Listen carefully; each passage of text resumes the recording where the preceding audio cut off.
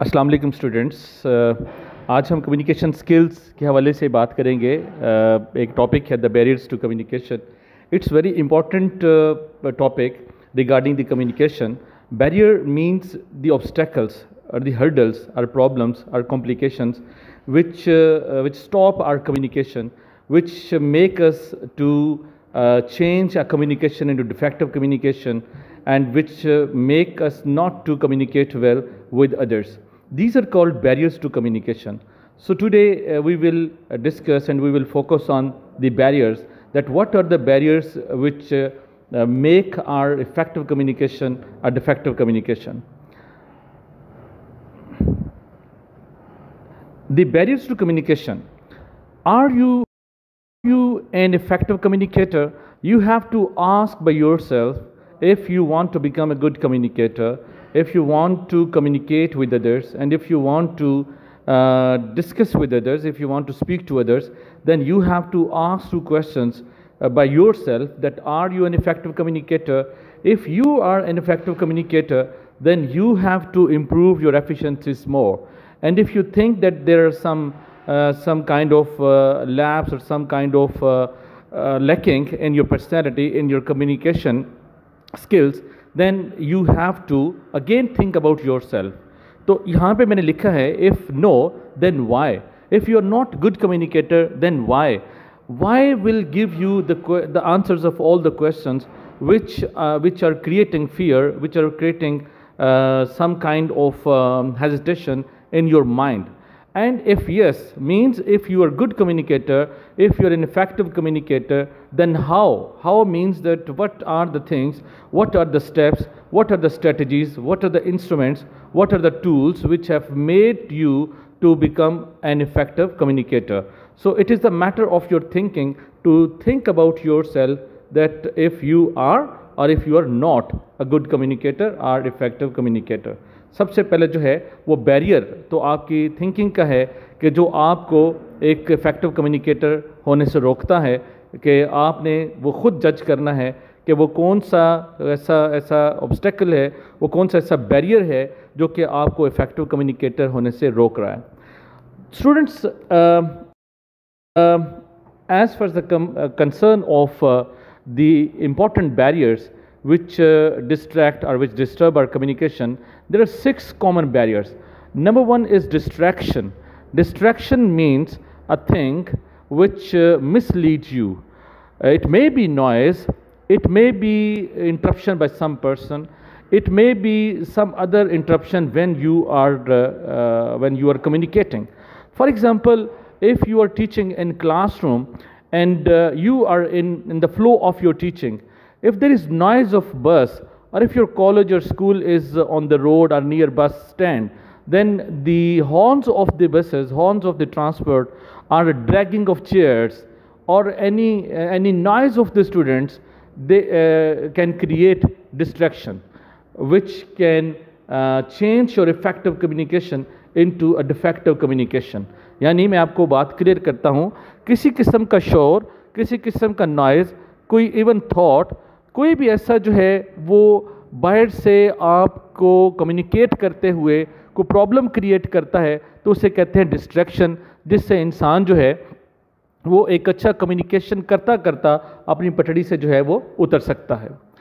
Number two information overloaded as a communicator if you are communicating with a mass masses with the group of people and you have given a lot of information आपने बहुत सारी मालूम दे दी है, जिससे लोग जो हैं वो ओवरलोडेड हो चुके हैं।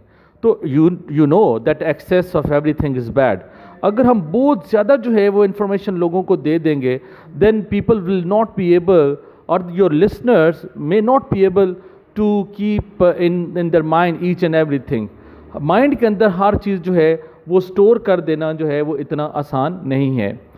Number three perceptual difference perceptual difference means uh, means perception difference of perception difference of uh, thinking difference of uh, vision difference of mentality कि हर इंसान का as uh, there are human beings in this world they have different fingerprints similarly they have different mentalities different thoughts and different perception level हर एक बंदे का जो perception level है thinking level है वो डिफरेंट है a communicator is communicating something and the listeners they are taking they are taking different meanings then it will also create the uh, barrier for communication इसमें एक चीज़ ये भी है liking और डिसलाइकिंग भी आ जाती है।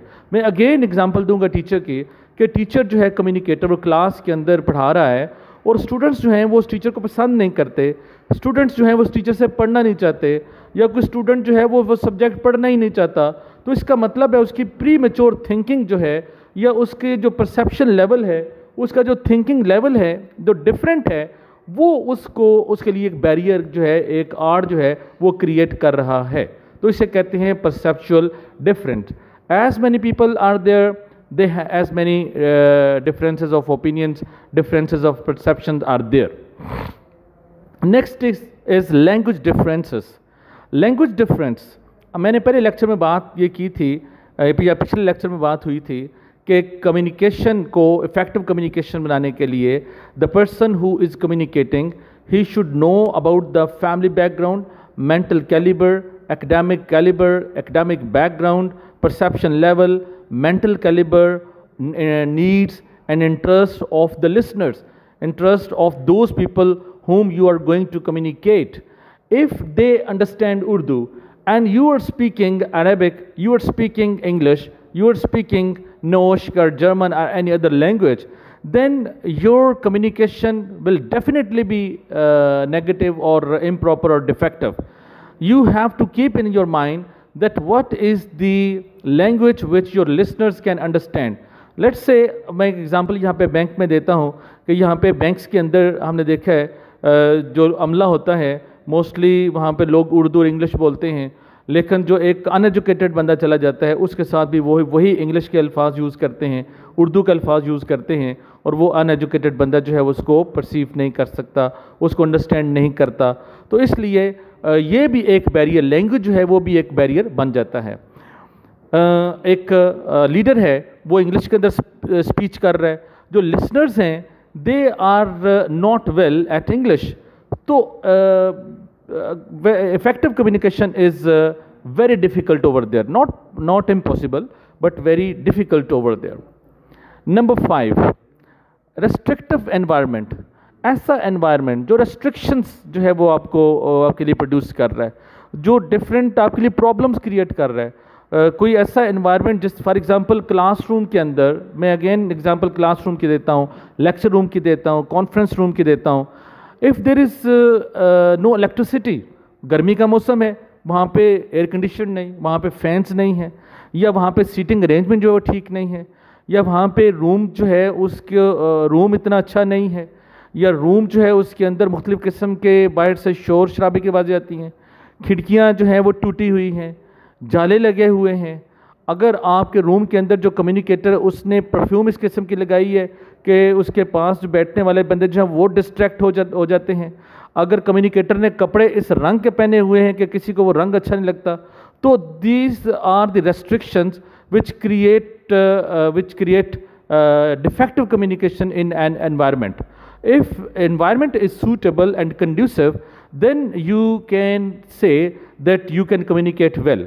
देखें बड़े बड़े जो हैं वो ऑर्गेनाइजेशंस वो अच्छे एयर कंडीशन होटल्स के अंदर कॉन्फ्रेंस रूम्स बुक कराती हैं।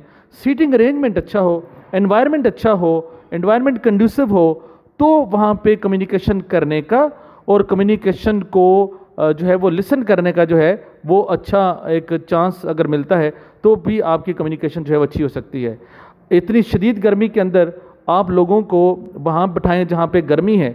और you are communicating and you want to sell your services you want to sell your product कोई चीज़ आप बेचना चाहते हैं अपनी सर्विसेज़ को, अपनी कंपनी की और कोई ऑर्गेनाइजेशन की कोई प्रोडक्ट को बेचना चाहते हैं।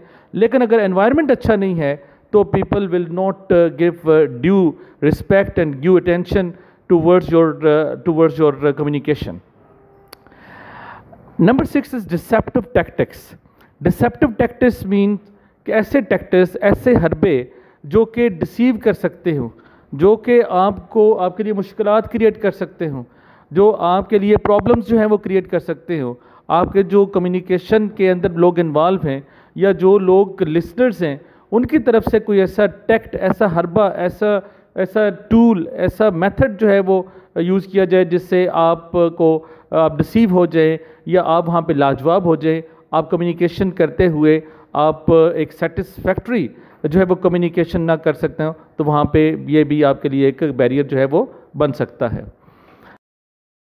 इफ़ेक्टिव कम्युनिकेशन ऑन जॉब अगर हम जॉब कर रहे हैं तो uh, हमारी जॉब के अंदर हम अपनी कम्युनिकेशन को इफ़ेक्टिव कैसे कर सकते हैं? In most of the offices in most of the organizations if communication through sms through emails through uh, circulars or through uh, different uh, methods if uh, communication is not proper if is not understandable if there is any problem in the communication then you cannot make your uh, communication uh, on your jobs effective so careful strategies can improve your ability to communicate effectively for example minimizing distraction आप communication करते हुए कोशिश करें कि distraction यानी जिससे आपका listener जो है, वो पटरी से कम से कम हटे, आप वो लैंग्वेज वो वर्ड्स और टू द पॉइंट जो है, वो बात करें। Number two adopting an audience approach audience की अप्रोच क्या है? ऑडियंस का मेंटल लेवल उनका मेंटल कैरिबर क्या है? उनका अंडरस्टैंडिंग लेवल क्या है? उनका परसेप्शन लेवल क्या है? कि जो चीज़ मैं समझ रहा हूँ, क्या मेरा लिसनर भी वही समझ रहा है? अगर जो चीज़ मैं समझ रहा हूँ लिसनर की ओपिनियन उसकी अप्रोच उसका difference of opinion difference of thinking different है तो फिर प्रॉब्लम हो जाएगी मुझे ऑडियंस को जो है वो मद्देनज़र रखना है। Number three fine tuning business communication skills के बिज़नेस के हवाले से मुझे जो स्किल्स हैं, वो अपने ट्यून करने चाहिए, वो अडॉप्ट करनी चाहिए कि जिससे मेरी कम्युनिकेशन स्किल जो है, वो इतनी अच्छी हो सके कि मैं अपनी सर्विसेज़ को और अपनी प्रोडक्ट को जो है, वो सेल कर सकूँ। Number four responding to constructive feedback आप फीडबैक को कंस्ट्रक्टिव बनाएँ, तामीरी बनाएँ। आपसे अगर कोई चीज़ पूछी जाती है बींग अ कम्युनिकेटर तो आप एक फुल सेटिस्फैक्शन को मद्देनज़र रखते हुए आप रिप्लाई करें। और अगर आप अपनी सर्विसेज़ को सेल करना चाहते हैं, अपने प्रोडक्ट को सेल करना चाहते हैं but you don't communicate with others इधर इट इज़ इंटरनल कम्युनिकेशन और एक्सटर्नल कम्युनिकेशन तो आपको, आप रिस्पॉन्ड नहीं करेंगे तो आपको जो फीडबैक है उसका पॉजिटिव रिस्पॉन्स नहीं आएगा, आपको उसका नेगेटिव रिस्पॉन्स आएगा। तो आपको फीडबैक लेने के लिए आपको पॉजिटिव रिस्पॉन्स जो है वो देना चाहिए। Number five being sensitive to business etiquettes her business के, हर जॉब के एटिकेट्स होते हैं मैनर्स होते हैं, कुछ तरीकाकार होते हैं। अगर आप बिज़नेस स्किल्स को जो है वो इम्प्रूव नहीं करते बिज़नेस एटिकेट्स को नहीं अपनाते बिज़नेस मैनर्स को नहीं अपनाते, आप जो बिज़नेस के अंदर ऑर्गेनाइजेशन की डिमांड है, अगर आप उन स्किल्स को नहीं अपनाते तो आपकी जो है वो डिस्ट्रैक्शन आपके लिए वो बैरियर का काम देगी और आपकी कम्युनिकेशन जो है वो डिफेक्टिव भी होगी और आपका जो बिज़नेस है वो भी नहीं चलेगा, आप अपने प्रोडक्ट को भी जो है वो सेल नहीं कर पाएँगे। इसके लिए हमें क्या करना चाहिए? Use of technology to improve business communication हम वॉइस टेक्नोलॉजी को जो है वो यूज़ कर सकते हैं। वॉइस uh, टेक्नोलॉजी जो है वो अच्छी होनी चाहिए कि अगर मेरे पास 100 लिसनर्स हैं मुझे अच्छा माइक यूज़ करना चाहिए मुझे अच्छे स्पीकर्स यूज़ करने चाहिए। वर्चुअल uh, एजेंट्स uh, हमारे हम हम किसी बंदे को जो है अपने एजेंट को जो है वो कम्युनिकेशन करने के लिए दूसरी पार्टी के पास भिजवा सकते हैं। मोबाइल कम्युनिकेशन हम कम्युनिकेशन थ्रू मोबाइल कर सकते हैं। यहाँ मतलब मोबाइल फ़ोन भी है और एक और मोबाइल का मतलब ये होता है वो ये कि आप कम्युनिकेशन कर रहे हैं। तो you should prefer to go person to person कि आप मूव हों you should be mobilize you should go from one person to other person are uh, giving lecture in front of uh, the in front of the listeners. You should go to the last people to the last अपने आप को mobile करें। Networking advance अगर आपकी organisation जो है, वो working कर रही है तो नेटवर्किंग में जो है, उसको यूटिलाइज करना चाहिए, उसको यूज़ करना चाहिए। जिससे, जैसे ईमेल्स हैं कंप्यूटर है लैपटॉप्स हैं थ्रू व्हाट्सएप हो रहा है, ये डिफरेंट मेथड्स हैं जो आईटी आपकी हेल्प आउट कर सकती है और आपकी कम्युनिकेशन स्किल्स हैं वो इम्प्रूव हो सकती हैं। Thank you